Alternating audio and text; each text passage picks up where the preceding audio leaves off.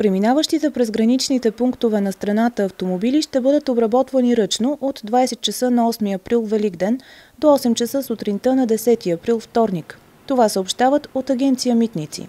Причината е, че пътни такси и разрешителен режим на агенцията няма да работи в автоматичен режим поради извършване на технически процедури. Това се налага, тъй като предстои прехвърляне на база данни към сървър с по-добри параметри. За посочения период обработката на пътни превозни средства ще се извършва ръчно, а пътните и винетни такси ще бъдат заплащани в брой. За целта и за улесняване на процедурата Агенция Митници ще подсигури допълнително служители на всички трасета за ръчна обработка на товарните автомобили. Не се очаква техническите процедури да се отразят на обработката на леки автомобили и автобуси, тъй като при тях се контролира само наличието на валиден винетен стикер и ръчната обработка няма да осложни допълнително интензивния трафик по граничните пунктове, който се очаква в края на почивните дни.